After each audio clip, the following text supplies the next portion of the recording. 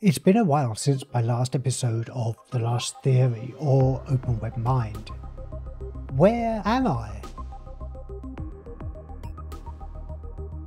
It might look like I'm lazing in the sun, but actually I've been working hard. For The Last Theory, I've been working on a long episode.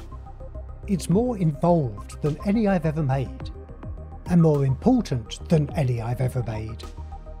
It'll unlock mass energy, momentum, special relativity, general relativity, and quantum mechanics.